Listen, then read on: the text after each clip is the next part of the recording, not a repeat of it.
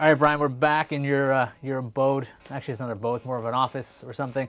We're gonna put your Raspberry Pi in this Nintendo Entertainment System husk, but we got a lot of planning to do, don't we? Yeah, we've got a lot of extended cables and probably some dremeling to do before we get uh, this to work properly. All right, let, us try to get inside of this thing and try to figure out how to place all our extension cables to make this thing look like a Nintendo, be able to have USB ports in the front, right. and actually have power in the back, lots of different ports we've got to configure yeah. at this point. And some of the parts that we're using from the original Pi was the power and reset button. So we're actually going to solder that to the Raspberry Pi so that we can uh, just use the front buttons to turn it off and on.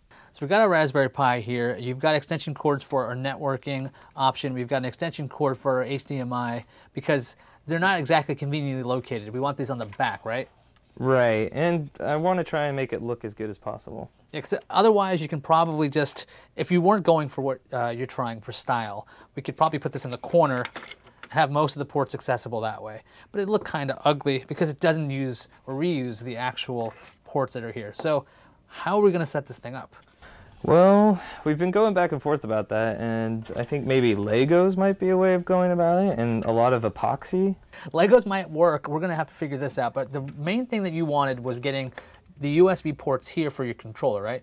Right, and to make it look flush. And the only parts that I have is the actual outer case. I don't have the existing control old controller stuff. So we might want to, if if we want to try to make this look as good as possible, get another spare Nintendo they're on eBay for what, like 30 bucks? Yeah, I actually found one for like 25 with shipping for a broken one. I would never want to do one that was working. That would be blasphemy. So we've got these extension cords. So if we want to use extension cords for the front here, uh, to measure it out, this part comes right off, and we're trying to see if it would fit. Now, these extension cords have a really hefty housing on it, and we're trying to find another solution. We could probably just put one in each if we wanted to, but I think we could support up to four controllers. You think? Yeah, we could totally do that. We just would need to get a uh, USB hub to power the Pi. And that's when this starts getting a little bit more interesting. So this Pi probably has to be over here. The hub probably over here, at least a, the part of it that would we'd rip out of its casing, and then we'd have to have extension cords to here for this. And so how we're going to fix this? Maybe a Lego, maybe reusing uh, something like a USB, a smaller USB hubs because we started noticing something. We've got a spare Raspberry Pi here, kind of like uh, the front USB ports you would have. That would fit quite well. Pretty close. In that spot, if we had a really small USB splitter hub kind of thing. Right. And I think we could find some online. No need to really reinvent the wheel here. We don't have to like create USB things. But how are we going to mount it? Lego, epoxy, uh, some sort, some sort of a combination of it. All right. So I think what we should do is we should go for a parts hunt and try to find what we have to get next because we're going to have to really screw with this to make it work.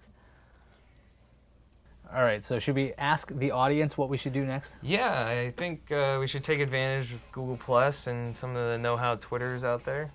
Okay, Twitterers. so Twitterers. Yeah, so if you're watching this on Google Plus, comment section below. Give us some of your ideas of how we can actually affix these things. We're gonna try some crazy things along the way. But if we're like, hey, wait a second, that guy has a brilliant idea. I can see it already. It's already a comment. I think his name is uh, his name is Jeff. Great idea, Jeff. He says to use Legos with epoxy. We already said that. You were paying attention. You could also hit us up on Twitter if you're like, well, I watched this video. I don't want to leave a comment here.